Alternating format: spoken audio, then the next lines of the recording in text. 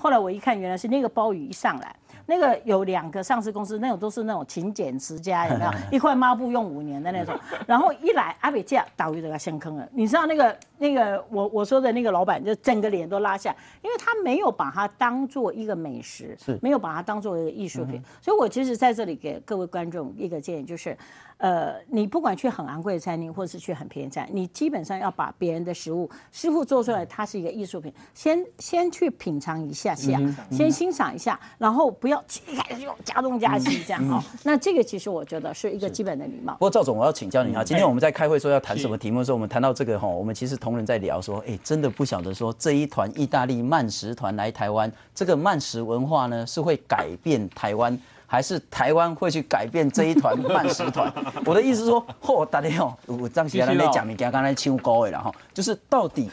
台湾真的能走向慢食文化这一块吗？做旅行社的角度来看，这团团费其实还好啦。嗯，因为这个咱打个戏给龙堂阿姐，应该不老贵啦哈。大概大概龙堂阿姐，这几百块都会使拍戏啊。无啦，无啦，小啦，无啦，你也可以互相价的赛。基本上大家都有吃到。如果说这个是美美食，因为对意大利人来讲，这真的是美食。那最主要是，我是觉得这是个生活形态跟态度。那个意大利，那个法国家，两点钟、三点钟，其实咱。没有去引就，第一个是我们不习惯去把那个东西慢慢吃，第二个是在博朗行啊开杠，我可以享受我的片面，博朗他公告书没有讲那个故事，所以那整个其实才那个两三小时觉得很难度过。它其实也一样，我们这个茶叶如果这样讲，我们这个安菇贵安的贡，哎给瑞给的不赶快了，所以其实关键其实是一个生活形态了，是一个品尝那个。可是我要对对台湾讲一句话，就是说台湾的美食真有创意，没错。全世界的美食在台湾发扬光大，连牛肉面，你去四川假矿牛肉面，看我都讲，台湾的牛肉面赞。等一下，我插一下嘴，我跟你讲啊，我们那个时候在帮助外交部的时候，我们说到底要行销台湾，What is the first one？就是台湾最好是什么？我那个时候主张，first one 是 friendly people。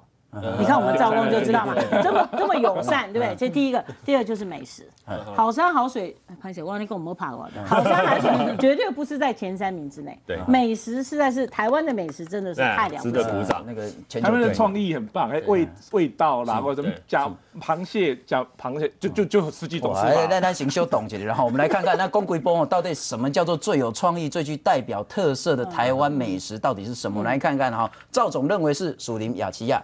哎，这可能一等到龟甲口话的塞打死，然后 这个士林夜市，你认为是最具特色？第二个呢是鼎泰丰，这个大概大家都很知道。中山北路的兴业，大概很多的老台北人也都清楚，然后这个日据时代就很有名。徐仲认为说俄阿米爽。哦，等一下，好好问一下，是安那鹅阿米线，今晚今晚起价啊四十五块左右，然 后啊嘛是下港我有三十五块还是有够好价。陈文敏呢，这个那个温迪姐认为是鼎泰丰跟夜市小吃，我还有一样，还有还有异国美食，异国美食。我的意思说，很多的美食到我们台湾来都会被 upgrade，就会被提升。台湾的意大利美食，台湾的日本美食，台湾的泰国，我举我举一个你，如果你去美国吃哈根达斯的冰淇淋。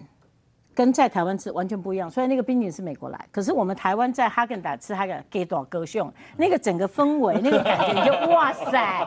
你知道那个美国，我们以前是拿拿一桶，然后在家里当做那个沙发 potato 这样子。球很贵。对对对，所以其实对，其实都会 upgrade，所以我觉得在台湾异国美食绝对是非常重要。日本菜、意大利菜。OK，认为是福州干面，然后 a o k 真的是一个很怪的人哈，你最喜欢吃福州干面。最喜欢吃葱抓饼，还有现打果汁。现打果汁你还特别注明说是要苦瓜加凤梨，然后啊，你最讨厌最讨厌的东西是蚵仔煎，为什么哈？先讲为什么你喜欢那个苦瓜加凤梨、福州干面跟葱抓饼。苦瓜加凤梨日本没有啊，哦，绝对没有，日本人不会文化的不会去做，对对对，嗯。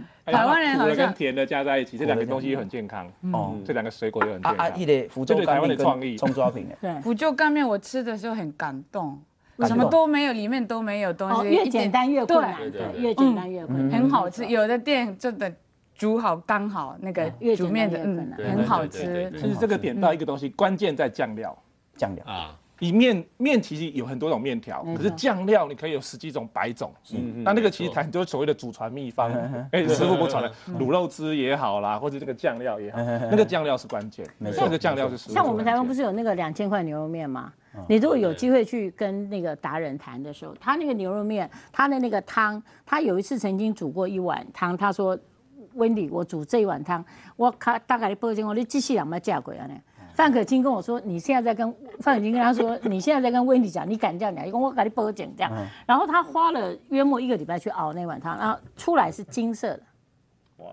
金色的，所以我我我其实会非常欣赏这样，就是说他真的是把这个东西当做艺术家，然后你也没有想到景观文化你六十龟块也当冰安冷千块这样，那这个我其实是给他拍手的。没错没错，那阿 OK 你跟徐仲刚好是颠倒，你最讨厌鹅阿煎，可是他最喜欢鹅阿煎 为什么你最讨厌鹅阿煎？鹅阿煎是台湾很有特色的东西。因为鹅阿煎有一点像那个鼻涕啊，糊糊的，对对对对。还有那个耀林的那个粉红色的酱油，我那个真的讨厌。你大概无法接受。甜的或是咸的辣。我觉得这个很 personal 啦，这个很个人的。没错啊，徐总，你为什么特别要介绍俄阿米霜？啊，你这刚刚我们传去讲俄阿米霜，没有啊，吴小敏。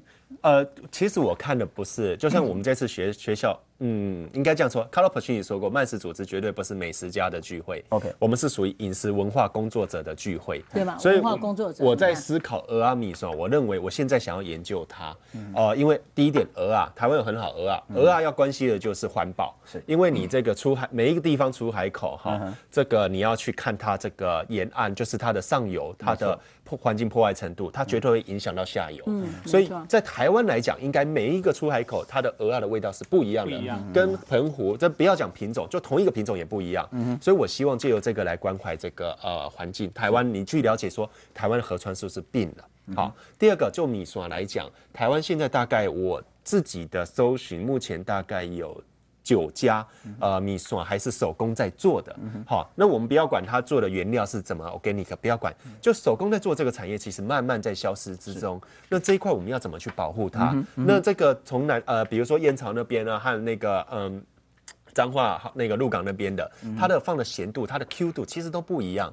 那从这两个来讲，那就很有意思了。我觉得你就可以让老外来了解，借由食物，你每一个地方的鹅阿米刷来了解每一个地方的风土人情。接下来鹅阿米刷蒜头有醋，这都可以讲。是像蒜头，我觉得很多时候人蒜农都出问题，对不对？可是我觉得这就是没有精致化。台湾的蒜头，上次我办一个蒜蒜头品尝会，至少十三个品种。哦，那十三个品种每一种的新度、辣度什么都不一样。那问题你在菜市场买。你就说我要一袋蒜头，那你没有给他一个名字嘛？你不是三星蒜，你独瓣蒜，你还是那个其他的东西？那你去看法国是怎么行销蒜头？它 elephant garlic。那你说山东他人讲怎么行销？它是整个世界为舞台。所以我这次带来是每一个东西安排有我的理由，每一个东西其实都可以跟意大利做连接。第一点，你你讲到这个我就想起来了哈，其实这个东西我们说要学日本或是意大利，把食物当成是一个艺术品来看。背后更重要的原因就是说，我们要有一个比较公平的贸易关系。对。你看迄混林哦，迄个白蒜头哇可怜，你知？迄一缸白个暗哦，迄整头迄整甲拢无要，一缸赚偌济？两百块。嗯，白个老白菜哦。哇 可怜啊，咱是食个老白菜啦，伊是白个老白菜。就是说，你如果说觉得蒜头是真的是可以有创造出一定的价值的时候，我们其实就应该赋予它一定的价值，而不是过度的剥削。可是我觉得，这有一次我在农委会谈，就是我有一次印象非常深刻，就是我有一次在一个 supermarket 非常昂贵的 supermarket 旁边呢有两个哈密瓜。有一个哈密瓜是放了进去，然后两粒一盒这样五千块。啊，旁边还有我们那台湾的哈密瓜几点两百块哈。那你你真的问我说它的甜度跟那个，当然这个甜度是比较严选的，which 我我同意，但是其实最大的差别是后面的故事。所以呢，比方说，我觉得像徐仲刚其实给我们一个非常好的 point，是说很好的点，就是说。人们为什么会仔细去品尝那个食物？是因为那个食物后面有很棒的故事。如果它是很棒的故事，人们就会有心情去体尝。或者是你刚刚讲的那个，呃，你去带他们去看那个酱啦，或者是，所以它后面可能有个阿阿阿妈的故事啦，阿公的故事，那家族的故事，我觉得那个是真正感动。所以我觉得我们台湾如果真的要推展这个美食，其实要把很多的 story 放到里面。那然后在这个时候也可以经由让。让这个呃外国人在经验上可以，比方说我们在讲我们的高粱酒的时候，我们曾经辅导金门酒厂的时候，我们的高粱酒我其实是把它当做。美国的这个 wine 来来做哈，或者是美国有一个非常有名的 vodka 叫做呃 absolute vodka，然后我们就把这个这个，然后你把这个高粱酒的这个故事，你把它分类，你把它什么，所以这个高粱酒就变成是一个很有艺术的东西。我们是讲哎，我上拎到拎到，你给他给猪彩有没有？哦，其实你看美国，我们在学酒，我们在法国学学酒的时候，你看不管是三大酒庄、五大酒庄。你说我我来讲，我大概可以给你保证，如果你不是酒很很内行，我给你们喝哦，其实都差不多了。